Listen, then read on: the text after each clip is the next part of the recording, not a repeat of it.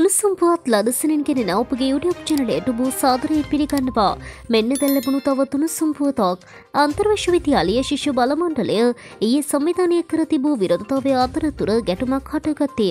රනිල් රාජපක්ෂ ජුන්ටාව පන්වම ක්‍රම වෙනසකට පෙළගැසම යන මෑන් කොළඹ විශ්වවිද්‍යාලය අසලදී විරෝධතාවයට ප්‍රහාරිල්ල විය.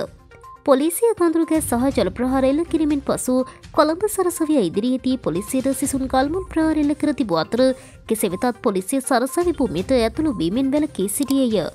ඇදෙව උනසන්සුන් තත්වයේදී තුවාල ලැබූ තිදෙනෙකු මෙවන විට කොළඹ ජාතික රෝහලට ඇතුළත් කර ඇත.